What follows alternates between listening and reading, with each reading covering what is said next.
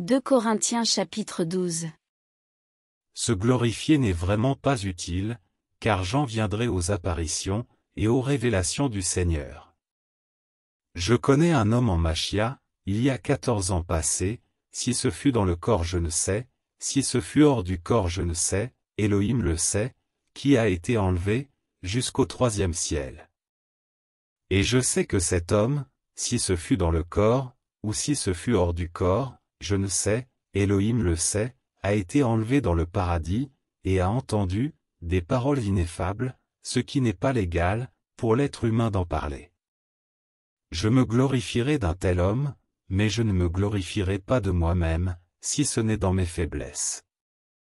Car si je voulais me glorifier, je ne serais pas un insensé, car je dirais la vérité, mais je m'en abstiens, afin que personne ne m'estime au-dessus, de ce qu'il me voit être, ou de ce qu'il entend dire de moi. Et de peur que je ne m'élève, à cause de l'excellence de ces révélations, il m'a été mis une écharpe dans la chair, un ange de Satan pour me frapper, afin que je ne m'élève pas. À ce sujet, trois fois j'ai prié le Seigneur, afin qu'il s'éloigne de moi. Et il m'a dit, Ma grâce te suffit, car ma puissance s'accomplit dans la faiblesse. Je me glorifierai donc très volontiers, plutôt dans mes faiblesses, afin que la puissance du Machia fixe, s'attende sur moi.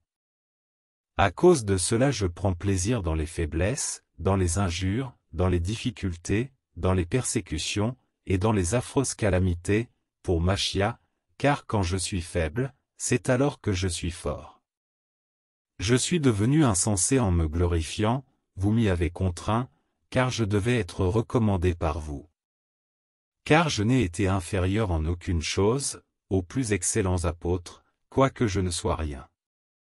En effet, les signes d'un apôtre se sont accomplis parmi vous, par une persévérance entière, par des signes, des prodiges et des miracles.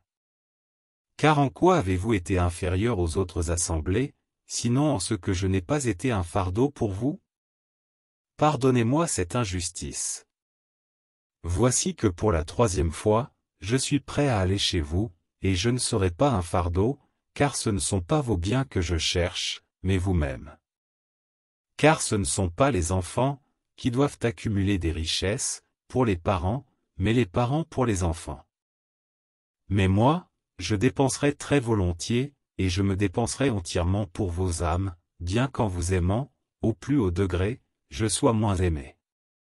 Mais soit.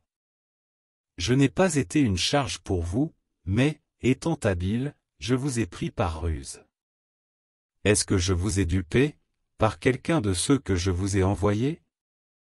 J'ai exhorté Titos, et j'ai envoyé le frère avec lui. Est-ce que Titos vous a dupé? N'avons-nous pas marché dans le même esprit, sur les mêmes traces?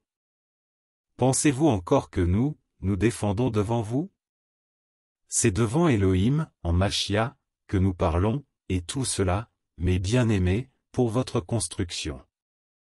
Car j'ai peur qu'à mon arrivée, je ne vous trouve pas tel que je veux, et que moi je ne sois trouvé par vous, tel que vous ne vouliez pas, et qu'il n'y ait des querelles, des jalousies, des colères, des esprits de parti, des diffamations, des calomnies, des gonflements de l'âme, et des désordres, que venant de nouveau chez vous, mon Élohim ne m'humilie devant vous, et que je n'ai à pleurer sur beaucoup de ceux, qui ont péché précédemment, et qui ne se sont pas repentis de l'impureté, de relations sexuelles illicites, et de la luxure sans bride qu'ils ont commise.